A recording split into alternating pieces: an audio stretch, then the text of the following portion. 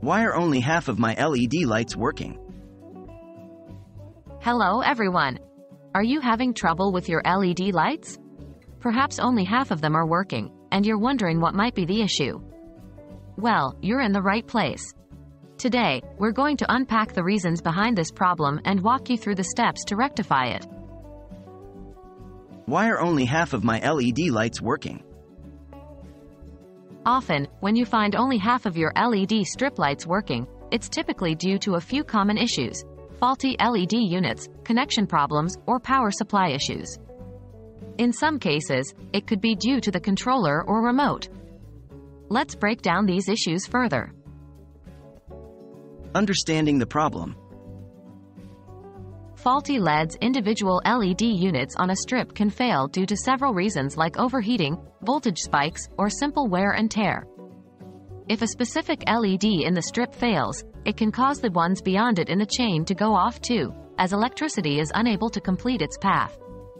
Connection issues If the strip is split into segments or if there's a poor soldering job, the electrical connection may be weak, causing only a portion of the LEDs to work.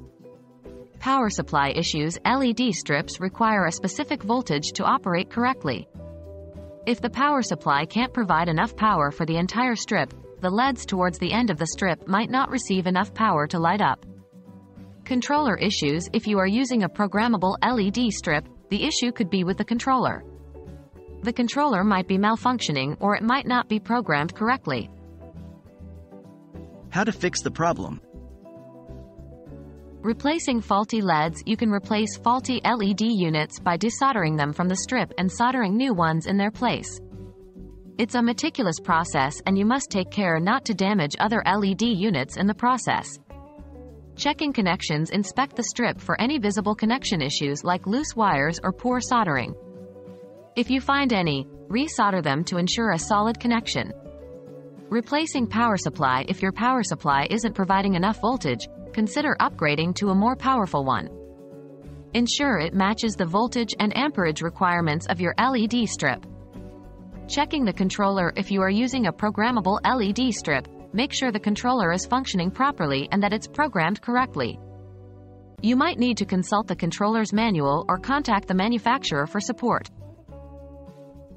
So, the next time only half of your LED strip lights are working, you'll have a better idea of what to look for and how to rectify the situation. Remember, when dealing with electricity, always prioritize safety. If you're uncomfortable performing any of these tasks, don't hesitate to consult a professional. With the right approach, you can ensure your LEDs keep shining bright,